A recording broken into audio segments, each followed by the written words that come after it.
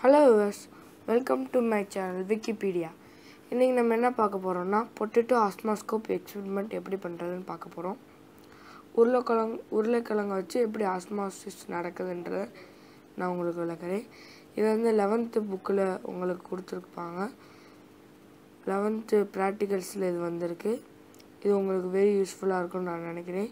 அதனால் இந்த வீடியோ நான் பண்ணியிருக்கேன். அதுக்கு என்னென்ன ஆப்ஜெக்ட்ஸ்லாம் தேவைன்ற ரெக்யர்மெண்ட்ஸை பார்த்துக்கோ மொதல் தண்ணி வாட்டர் தேவை.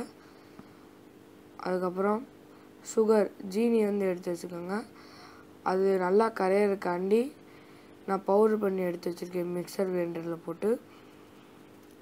அடுத்து ஒரு நைஃப் கத்தி அதுக்கப்புறம் ஒரு பீக்கன் நம்ம புக்கில் போட்டிருக்கோம். ஆனால் நான் ஒரு பிளாஸ்டிக் பாட்டில் பிளாஸ்டிக் கிண்ணமாக எடுத்துக்கிறேன். அதுக்கப்புறம் ஒரு பொட்டேட்டோ இப்போ நான் பொட்டேட்டோ வந்து ரெண்டு சைடும் அதாவது சமமாக நிற்கிற மாதிரி பொட்டேட்டோ ரெண்டு சைடும் அறுத்து எடுத்துக்கிறேன்.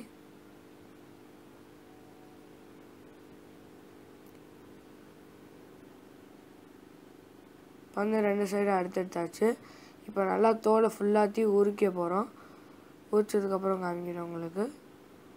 பார்த்தீங்கன்னா நான் தோலை ஃபுல்லாத்தையும் உரிச்சிட்டேன். தோல் இப்போ வந்து அங்கே அதுக்குள்ளே ஒரு கேவிட்டி அதாவது ஒரு பள்ளம் உருவாக்கணும். அதுக்காக நைஃப் வச்சு நல்லா ஆழமாக நம்ம குத்தி கொஞ்சம் கொஞ்சமாக உடச்சி உடச்சி எடுக்கலாம்.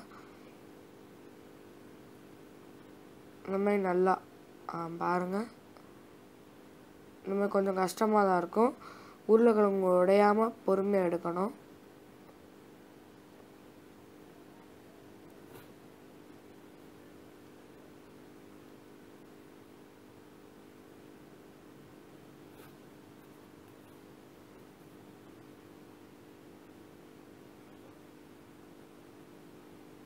இப்போ பார்த்தீங்கன்னா நல்லா கேவிட்டி போட்டு எடுத்துருக்கேன். நல்லா ஆழமாக கீழே ரொம்ப கீழே போகக்கூடாது.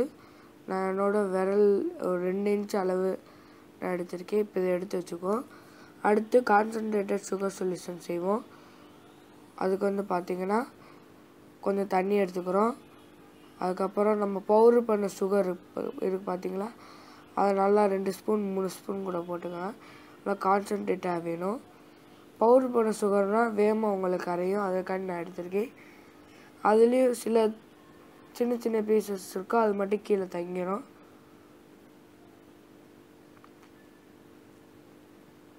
இப்போ பார்த்தீங்கன்னா உங்களுக்கு தெரியும் நல்லா கீழேலாம். இப்போ பாருங்கள் இன்னும் கொஞ்சம் கூட நான் கலந்துக்கிறேன் நல்லா. சுகர் கான்சன்ட்ரேஷனுக்கு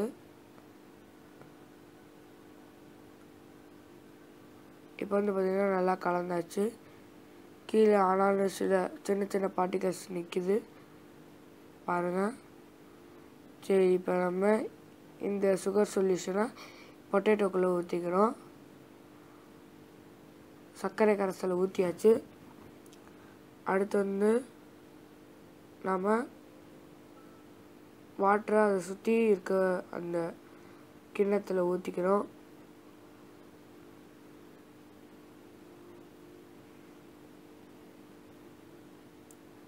இப்போ வந்து இனிஷியல் லெவல் துவக்க அளவு எவ்வளோன்ற குறிக்கிறதுக்கு ஒரு குண்டு பின்மையை வச்சு நான் பாயிண்ட் பண்ணிக்கிறேன். இப்போ இவ்வளோ இருக்குது இப்போ இருபது நிமிஷத்துக்கு நம்ம வெயிட் பண்ணுவோம். அதுக்கப்புறம் இருபது நிமிஷத்துக்கு அப்புறம் என்ன நடக்குதுன்றதை பார்ப்போம்.